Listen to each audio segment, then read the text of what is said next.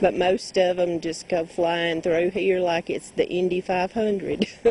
Nancy Eastman's trip to the mailbox mm-hmm. can be a daily danger. it's kind of scary to even go to your mailbox. Sometimes you have to look both ways and make sure there's not anyone coming. Central Grove Road is a shortcut between Highway 45 and Highway 278. As with most county roads, the speed limit is 55. Some areas are reduced. It is reduced here at the curve, but Eastman says that really doesn't slow them down. Supervisor Carol Crawford would like to see the speed lowered in some areas, but that requires state approval. It takes several steps to be able to get this done, so I want the public to know that we're working on it, we're concerned about it, we're concerned about the fact that they're concerned about the speed. A speed monitor similar to this one is being moved to areas where speeding is a problem. County officials keep receiving calls from those areas. The complaint is a familiar one. They're flying by the house. I'm scared they're going to run over my kid, my grandkid, my dog. We're hoping that that will bring people uh, to mind that, that safety factor of uh, when you're speeding, you're going to hurt somebody. Back at Nancy Eastman's house, she hopes the speed monitor will slow drivers down.